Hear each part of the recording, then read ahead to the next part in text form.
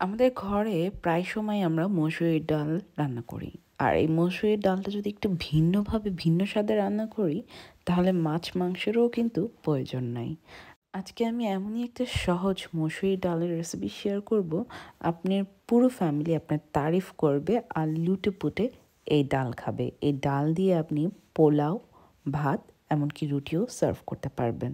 আসুন ফুল ভিডিওটা এক নজর দেখে নেই। মাত্র এক কাপের মতো মসুরির ডাল নিয়েছি।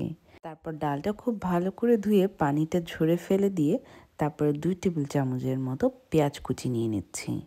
এই যে দেখুন, পেঁয়াজ কুচি দিয়ে দিলাম। আধা চা চামচের মতো হলুদের গুঁড়া দিয়ে দিচ্ছি। এক চা চামচের মতো লবণ দিয়ে দিচ্ছি। লবণের পরিমাণটা আপনাদের স্বাদ অনুযায়ী আপনারা কম বেশি করে নিতে পারেন।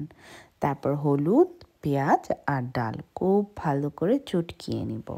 হাত দিয়ে খুব ভালো করে চটকিয়ে নেবেন। চটকিয়ে নিলে পেঁয়াজের থেকে কিন্তু একটা রস বের হয়। ডালটা খেতে ভীষণ মজা লাগে।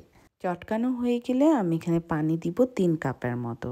তো পানির পরিমাণ আপনারা চাইলে আরও এক কাপ বাড়িয়ে দিতে পারেন। আমি আজকে একটু মাখা মাখা করে রান্না করব। এই জন্য তিন কাপ দিব। মানে এক কাপ ডালে তিন কাপ। আর আপনারা যদি একটু ঝোল ঝোল টাইপের খেতে চান ডালটা মানে ডাল যেরকম খাই পানি পানি, সেক্ষেত্রে আপনারা চার থেকে পাঁচ কাপ পানি ব্যবহার করতে পারেন। এবার আমি ঢাকনা দিয়ে ঢেকে প্রায় পাঁচ সাত মিনিটের মতো জাল করব। এই রান্নাটা রান্না হতে প্রায় পনেরো থেকে বিশ মিনিটের মতো সময় লাগে। তো পাঁচ মিনিট পর আমি একটু ঢাকনাটা খুলে তেল দিয়ে দিচ্ছি এক টেবিল চামচের মতো। তেল খুবই পরিমাণে কম ব্যবহার করেছি। আমাদের সবারই তেল কম খাওয়া উচিত। তেল দিয়ে একটু নেড়ে ছেড়ে দিলাম। তারপর এই যে আমি দিয়ে দিচ্ছি পালং শাক।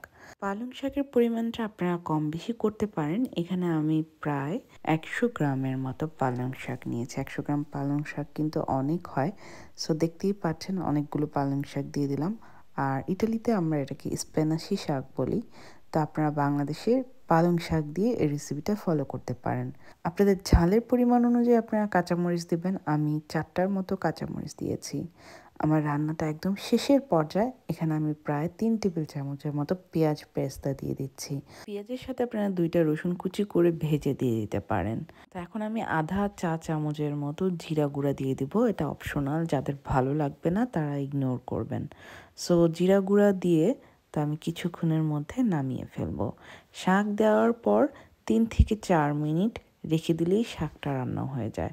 শাক খুব দ্রুত রান্না হয় আর যখন এটা ডালের মধ্যে যায় তখন আরও তাড়াতাড়ি রান্না হয়ে যায়। তা আমি একটু খেয়ে দেখলাম লবণটা পারফেক্ট আছে কিনা? একদম পারফেক্ট সো আমার রেসিপিটা আপনাদের কাছে কেমন লেগেছে অবশ্যই জানাবেন। পুরো পরিবারকে নিয়ে খাবেন। এই টাইপের একটা ডাল রান্না করে যদি আপনি আপনার পরিবারের সামনে দেন, তাহলে মাছ মাংস তো দূরে থাক এই ডাল দিয়েই এক নিমিষেই এক প্লেট ভাত খেয়ে ফেলবে। সো আজকে এই যে আমি ডাল দিয়ে ভাত খাব, এই ডালের সাথে আমি নিই একটা পুরা শুকনা মরিচ। আর এই পুরা শুকনা মরিচের ফ্লেভারটাও আমার কাছে দারুণ লাগে। তার সাথে যদি একটা ডিম হয়, তাহলে তার কথাই নেই। এই যে আমি ডিম ভাজাও নিয়ে নিলাম। খুবই সামান্য অল্প একটু ডিম নিয়েছি।